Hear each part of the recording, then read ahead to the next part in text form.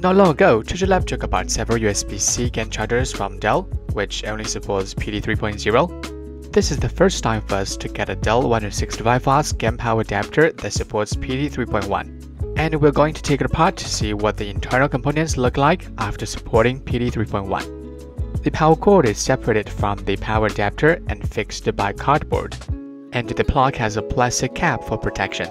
It adopts a three-prong design and is from Longwell, supports 10A 250 volts. The socket also adopts a three-prong design. Its length is about 92 cm. Let's see the power adapter itself. It adopts a classic design of Dell and comes with a non-detachable USB-C cable. The Dell logo is on the front matte surface made of fire-retardant PC, and the indicator light is at the bottom. All specs info are on the back, Model LA165PM210. It supports input of 140 volts, 5006 Hz, 2.2 amp. The maximum output can be up to 165 watts, but it only reaches 140 watts under the PD 3.1 mode. The manufacturer is Lite-On, and it has passed multiple certifications and can be used in most countries and regions. The input end adopts a three-prong design the groove near the output end can fix the USB-C cable and prevent the junction from bending. And you can fix the other side of the cable here. The length of the USB-C cable is about 179 cm. The size of this power adapter is about 136 by 66 by 22 mm. Since it's a large size, the weight of the power adapter is about 360 grams. With the power cord, the weight becomes about 451 grams. The indicator light lights up white when power-ups.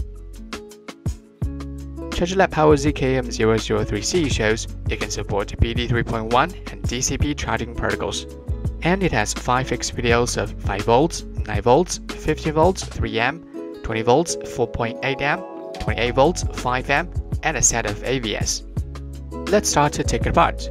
Use a spudger and hammer to pry off the cover of the input end.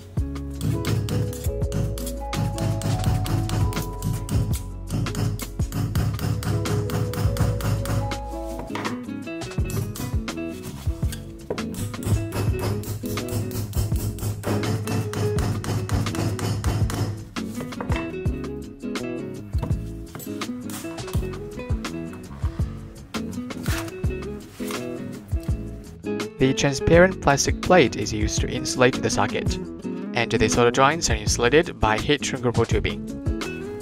Continue to remove the output end. Cut off the input wires and pull out the PCBA module. The PCBA module is wrapped with aluminum plates, which can enhance the heat dissipation performance. The upper wires are soldered to the PCBA and insulated by heat shrinkable tubing. The input wires adopt the same design. Then let's remove the aluminum plates.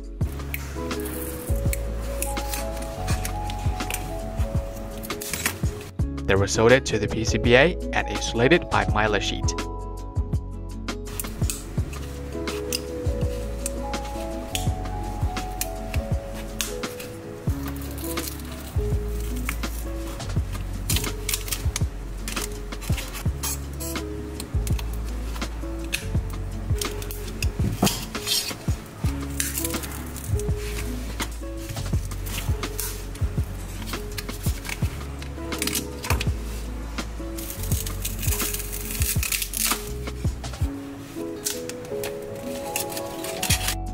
After removing them, the PCBA module is filled with potting compound, which can also enhance heat dissipation. Clean up the PCBA module.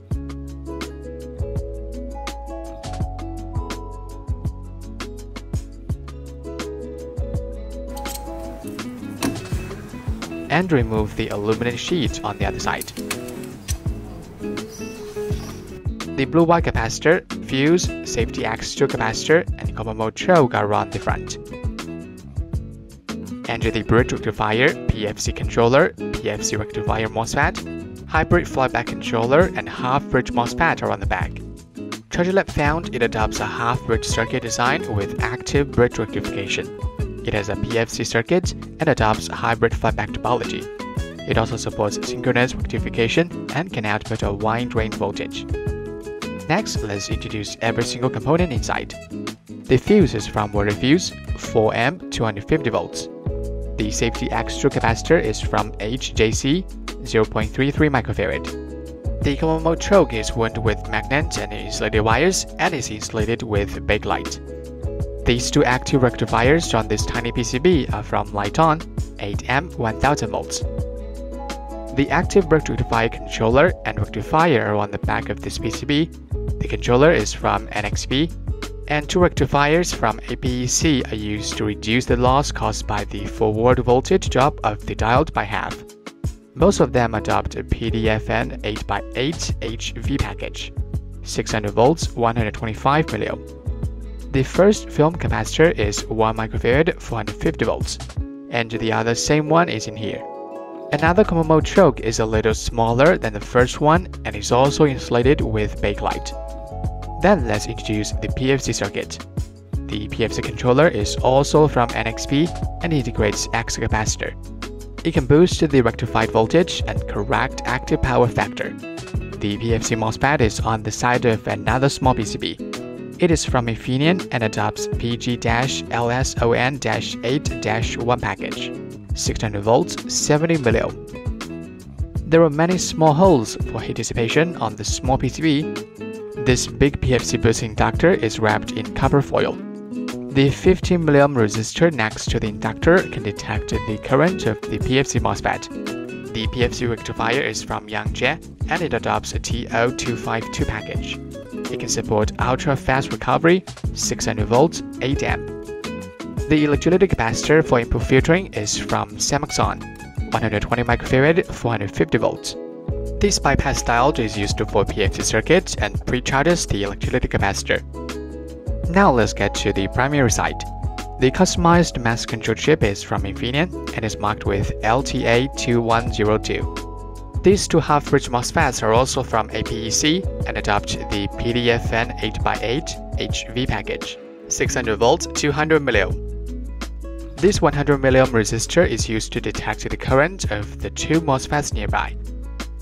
These three electrolytic capacitors can power the master control chip. One of them is 10 microfarad 160 volts and is from Elite. The other two are 22 microfarad 50 volts. The other big component, the transformer, is wrapped in copper foil for shielding. Here is the blue Y capacitor. Two SMD Y capacitors are from Holy Stone and are connected in series to improve the voltage resistance. Those two optocouplers are used for the feedback of output voltage and PFC control. Then let's move to the secondary side. The synchronous rectifier controller marked with IBUJN is from MPS and adopts the TSOT 23-6 package. It supports multiple working modes and synchronous gain rectifier, and the operating frequency can reach 1 MHz.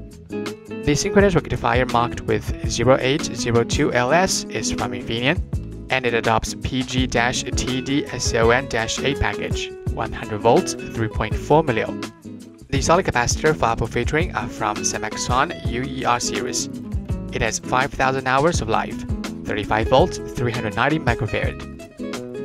The USB PD protocol chip is from Weltrend and adopts QFN-60 package. It supports USB PD 3.1, 36 volt output, and programmably control constant voltage and current. It integrates a low side current sampling amplifier and supports line loss compensation. The Apple VBus MOSFET is from Toshiba and adopts TSON Advanced Package, 40 volts, 1.8 milliohm. Well, that will be all the components of the 165 watts power adapter from Dell. You can not only charge Dell laptops at 165 watts through the proprietary protocol, but also charge other supported devices at 140 watts through the PD 3.1. To continuously output high power for a long time, the PCBA is filled with potting compound and wrapped with aluminum plates to enhance heat dissipation. These small PCBs are vertically soldered and most capacitors are placed horizontally to save space. It follows the constant high quality of Dell chargers, but more components allow it to have better performance. Okay, that's all for today's video.